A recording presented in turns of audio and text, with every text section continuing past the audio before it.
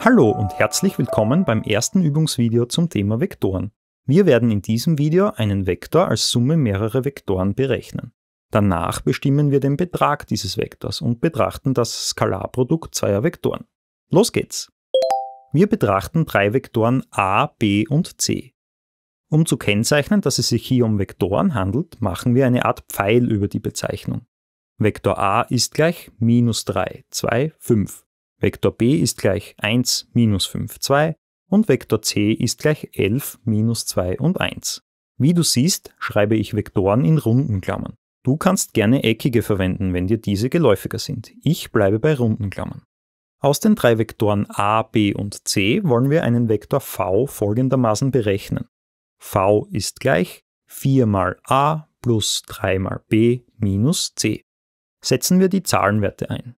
v ist gleich 4 mal Klammer minus 3, 2, 5 plus 3 mal Klammer 1 minus 5, 2 minus Klammer 11 minus 2 und 1 ist gleich. Die Klammern um die Vektoren werde ich ab jetzt nicht mehr extra erwähnen, da eigentlich klar ist, dass es sich um Vektoren handelt. Ein Vektor wird mit einer natürlichen Zahl multipliziert, indem jede einzelne Komponente mit der natürlichen Zahl multipliziert wird. 4 mal den Vektor a ergibt somit den Vektor minus 12, 8 und 20, da wir 4 mal minus 3, 4 mal 2 und 4 mal 5 rechnen müssen. Was ergibt 3 mal Vektor b? 3 mal b ergibt 3 minus 15 und 2. Wir erhalten also minus 12, 8, 20 plus 3 minus 15, 6 minus 11 minus 2 und 1. Vektoren werden addiert bzw. subtrahiert, indem die Komponenten zeilenweise addiert bzw. subtrahiert werden. In der ersten Komponente ergibt das minus 12 plus 3 minus 11. In der zweiten Komponente 8 minus 15 plus 2 und in der dritten Komponente 20 plus 6 minus 1. Ausgerechnet erhalten wir den Vektor v mit minus 20, minus 5 und 25. Als nächstes wollen wir den Betrag des Vektors v berechnen. Vektoren kann man sich geometrisch sehr gut als Pfeile vorstellen. Der Betrag eines Vektors entspricht der Länge dieses Pfeils. Wir werden uns das in Kürze an einer Grafik genauer ansehen. Berechnen können wir die Länge dieses Pfeils, also den Betrag eines Vektors, mit dem Pythagoras. Der Betrag unseres Vektors v ist gleich Wurzel aus, erste Komponente zum Quadrat, also minus 20 zum Quadrat, plus zweite Komponente zum Quadrat, das ist minus 5 zum Quadrat, plus dritte Komponente 25 zum Quadrat. Beachte die Schreibweise für den Betrag mit senkrechten Strichen um den Vektor v. Wir tippen in den Taschenrechner ein und erhalten 33,6749, gerundet 33,68 als Ergebnis. Betrachten wir einen weiteren Vektor w ist gleich minus 4, minus 1 und 5. Was fällt dir auf, wenn du die Vektoren v und w vergleichst? Vektor w ist gleich ein Fünftel mal Vektor v. Man könnte auch sagen, wir haben den Vektor v durch 5 gekürzt und daraus Vektor w erhalten. Geometrisch gesehen passt gekürzt sehr gut. Wie du auf diesem Bild siehst, zeigen der grüne Pfeil, der Vektor v repräsentiert, und der schwarze Pfeil, der den Vektor w darstellt, in dieselbe Richtung. Der schwarze Pfeil ist aber bedeutend kürzer als der grüne. Das heißt, die Vektoren v und w zeigen in die gleiche Richtung, der Betrag von Vektor w ist aber kleiner als der Betrag von Vektor v. Das kannst du natürlich auch rechnerisch überprüfen.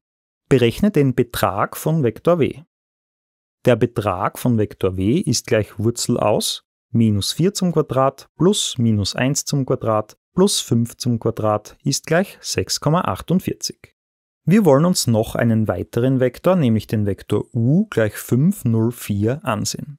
Gesucht ist das Skalarprodukt oder auch innere Produkt der Vektoren u und w.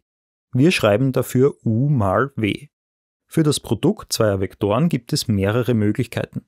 Neben dem Skalarprodukt gibt es zum Beispiel noch das Kreuzprodukt und einige andere. Diese Produkte unterscheiden sich in ihrer Bedeutung und Berechnung. Schreibt man Vektor u mal Vektor w mit einem gewöhnlichen Malpunkt, meint man das Skalarprodukt. Andere Produkte werden auch mit anderen Rechensymbolen geschrieben, aber das soll uns hier nicht weiter interessieren. Wir berechnen das Skalarprodukt der Vektoren u und w.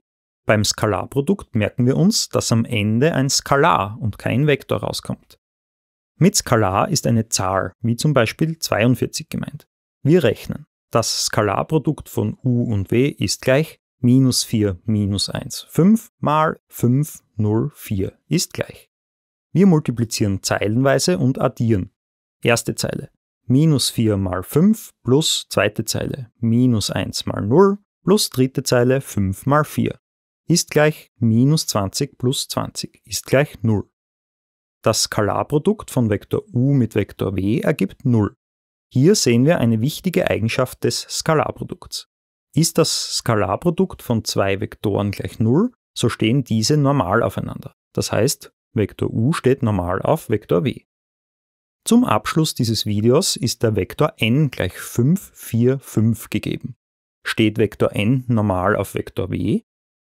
Um zu überprüfen, ob n normal auf w steht, berechnen wir das Skalarprodukt von w und n. Ist gleich minus 4 minus 1, 5 mal 5, 4, 5 ist gleich minus 20 minus 4 plus 25 ist gleich 1.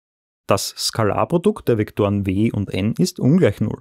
Somit stehen diese nicht normal aufeinander. Wir sehen uns beim nächsten Video.